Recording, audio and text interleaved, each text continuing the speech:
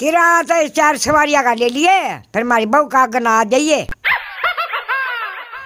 तीन महीना का बालक सपेट में पड़ा रहिए।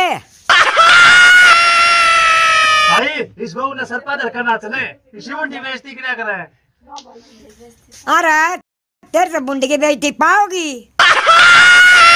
और कड़ा फंसा मैं